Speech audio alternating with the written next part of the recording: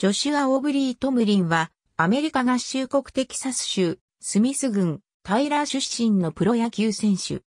宇藤右打ち。MLB のアトランタブレーブス所属。愛称は、元チームメイトのフランク・ハーマンが名付けたスクラブズ。2005年の MLB ドラフト11巡目でサンディエゴパドレスから指名されたが入団しなかった。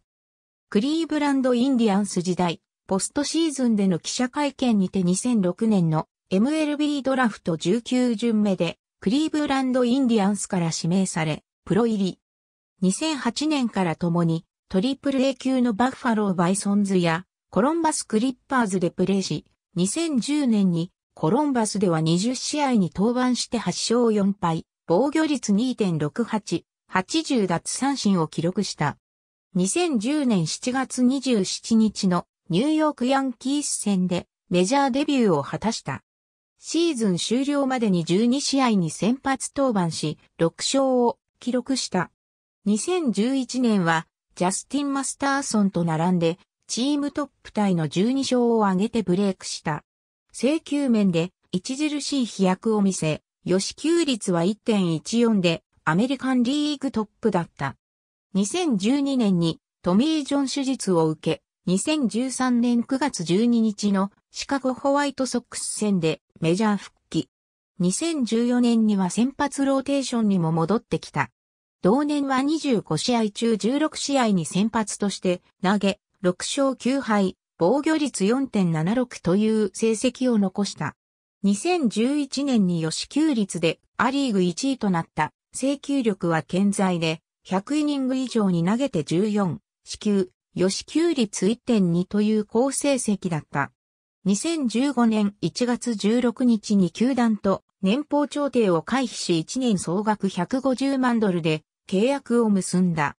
この年は10試合に先発登板し、防御率3.027勝2敗、吉球率1.1という好成績をマークした。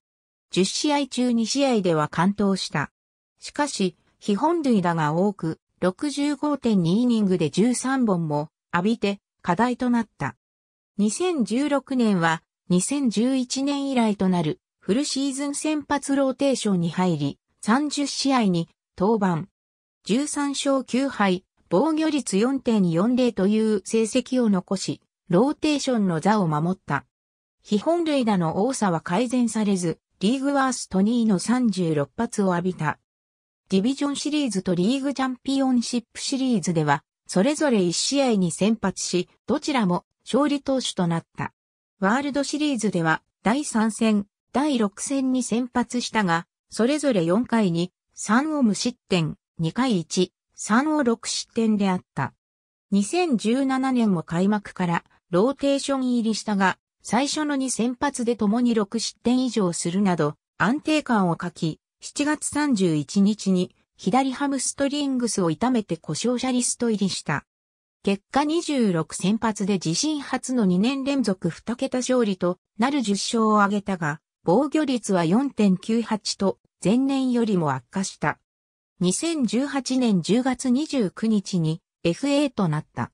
2019年2月7日にミルウォーキーブルワーズとマイナー契約を結び、スプリングトレーニングに招待選手として参加することになったが、3月20日に自由契約となった。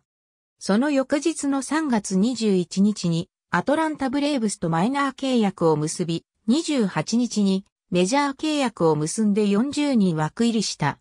オフの10月31日に FA となった。2020年2月12日にマイナー契約で再契約した。7月18日にメジャー契約を結んで40人枠入りした。オフに FA となったが、11月11日にブレーブスと1年100万ドルで再契約した。オプションとして2022年は、球団側が選択権を所持し、バイアウトの際は25万ドルが支払われる。ありがとうございます。